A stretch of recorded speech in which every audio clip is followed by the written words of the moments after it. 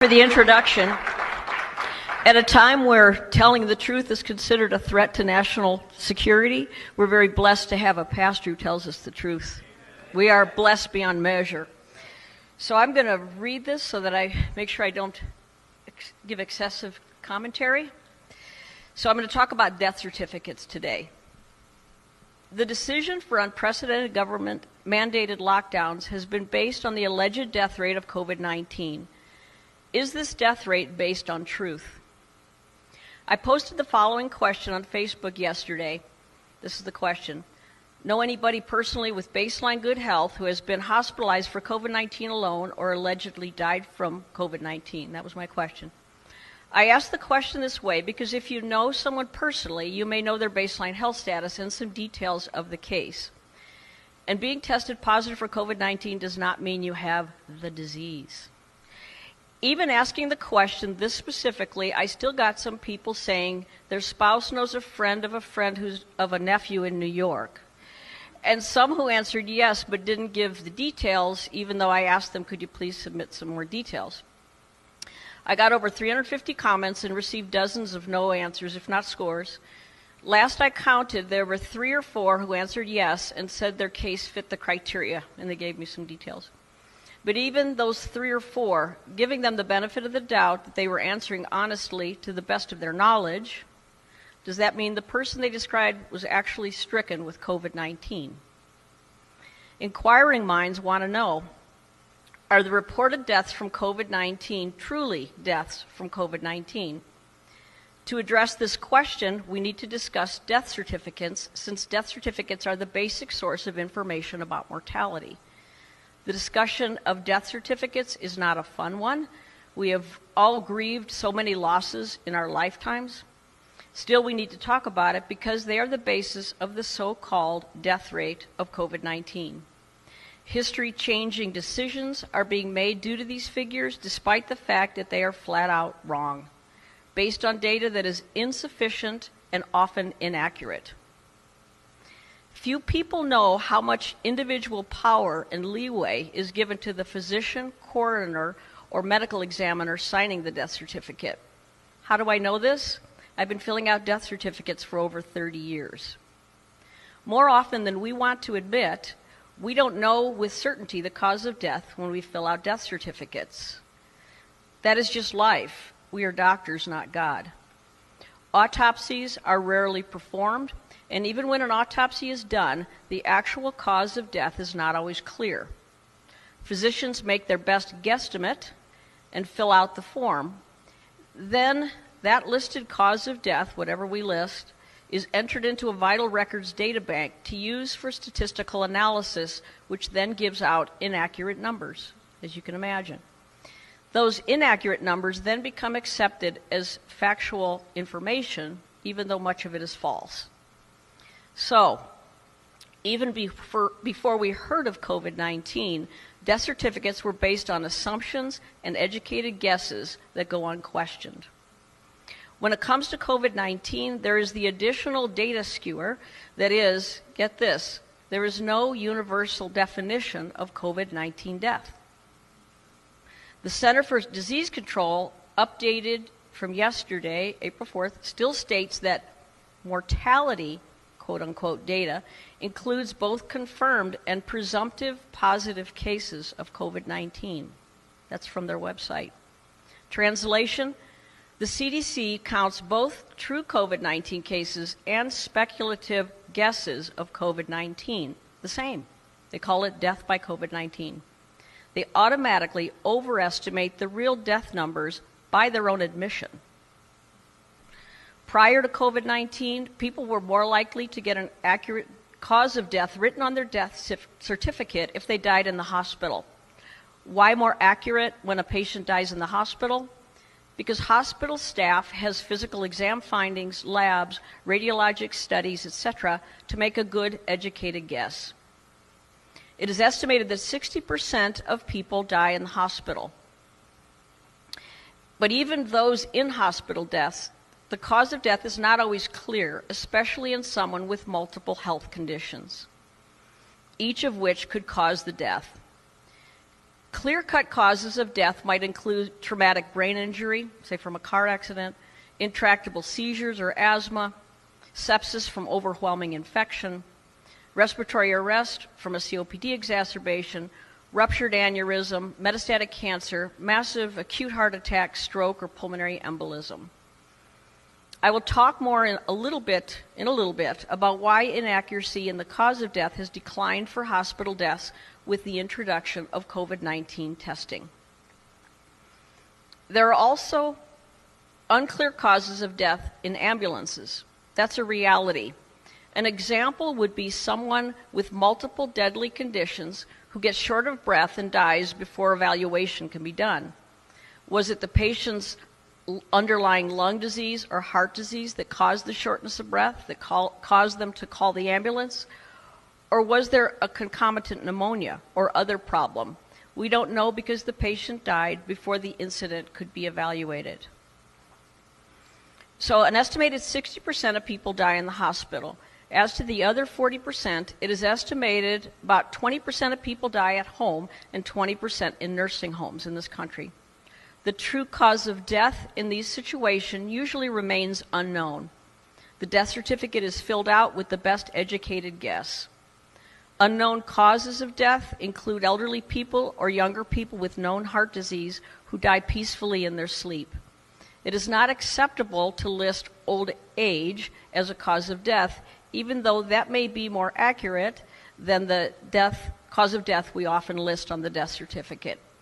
We are allowed to state as a cause of death atherosclerotic cardiovascular disease, and that may be our best guess in a lot of these cases.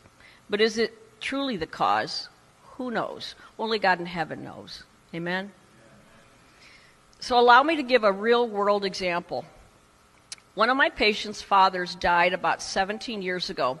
He was old and in the final days of terminal cancer. He also had heart disease, but was too old and too sick to get heart bypass surgery. As he got near the end of his life, he came down with what appeared to be pneumonia. As my patient, this man's son, stood by his father's sick bed at home, the man died. No one else was there. The mortician was called and removed the body at about 2 in the morning. The next day, the funeral home called and asked my patient, the son of this man, what time did he die and what was the cause. The death certificate listed the man's son's best guess. The cause of death made by the deceased man's son was made official. He was cremated, so there was no second opinion. This man didn't even have any medical training that gave the diagnosis to the mortician. This happens all the time, especially in poor urban areas, casual country towns, and rural areas. In the case of my patient's father, did an accurate cause of death matter? Not really. But today, when governments are taking, making massive changes that affect our constitutional rights, and those changes are based on inaccurate statistics, it does matter. There's a U.S. standard for death certificates that includes a line for immediate cause of death, followed by two to three lines of antecedent causes giving rise to the immediate cause, then one to two lines of other significant conditions contributing to the death, but not causally related to the immediate cause.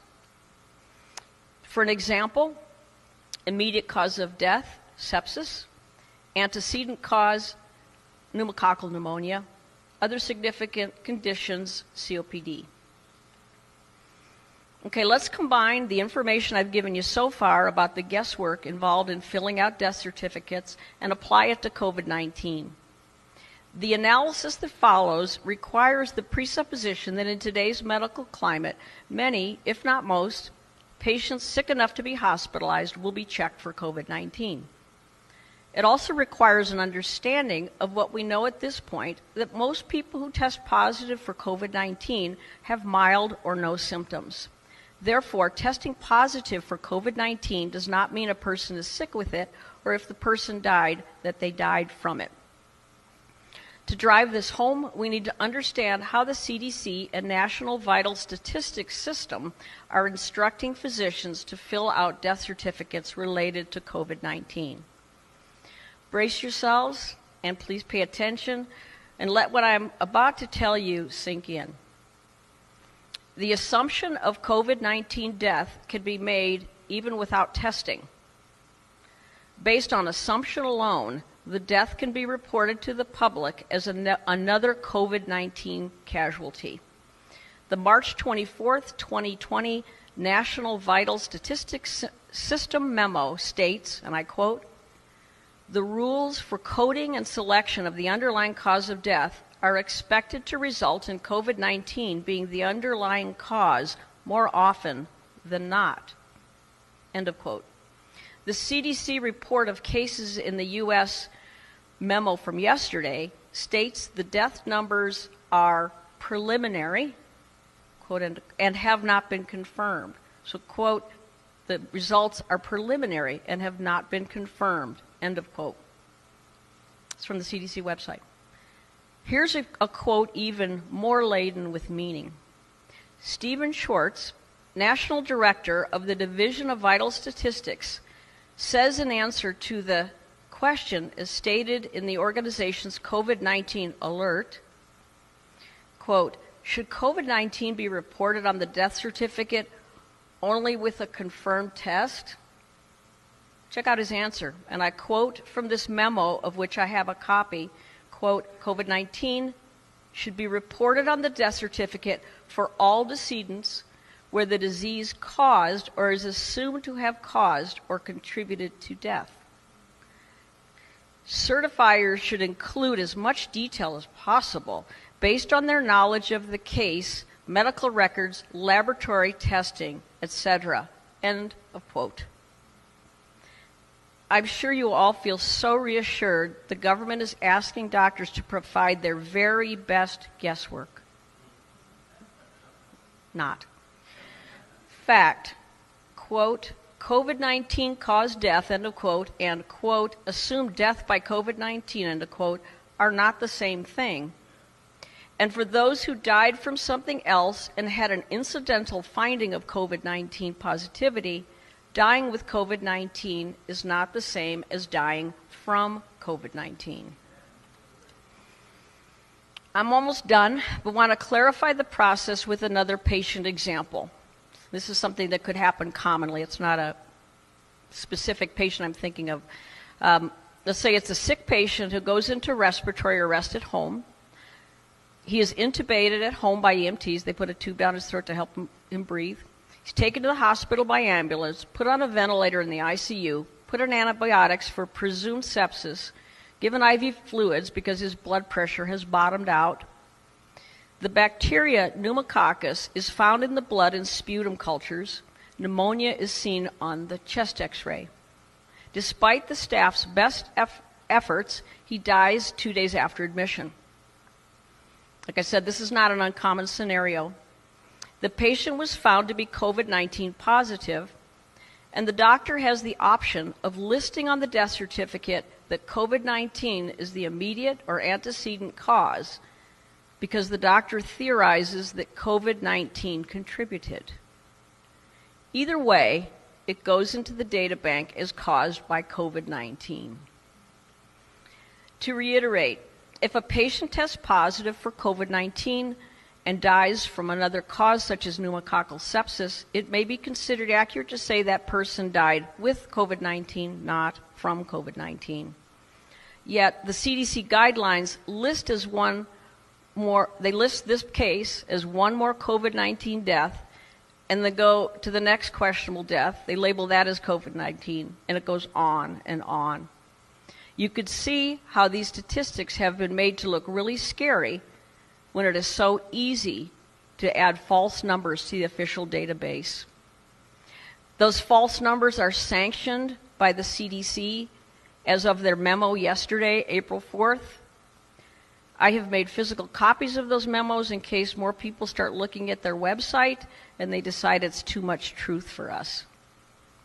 I hope I was able to make my point. The real number of COVID 19 deaths are not what most people are told and what they then think. How many people have actually died from COVID 19 is anyone's guess. Again, God only knows. But based on how death certificates are being filled out,